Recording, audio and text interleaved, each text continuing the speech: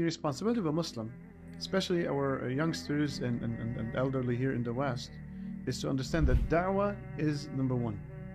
Allah subhanahu wa ta'ala said in the Quran, قُلْ هَذِهِ سَبِيلِي أَدْعُو إِلَى اللَّهِ Say, O Muhammad, uh, tell the people والسلام, that my path is a path of da'wah to Allah subhanahu wa ta'ala. Now we have we have da'wah to non-Muslims and da'wah to the Muslims too. We have responsibilities toward our non-Muslims colleagues and neighbors and in society. So they're right upon us to explain Islam to them. So that's number one. Number two is our responsibility to our own Muslim ummah.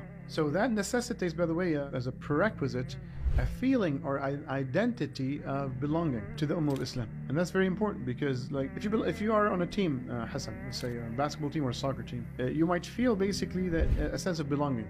But that comes now basically with a feeling of responsibility that I need to make the team successful, victorious. I need to play my role, come on time for, for the trainings and, and, and the practice. So same thing, we have responsibility to our ummah. Uh, what is that responsibility of our ummah?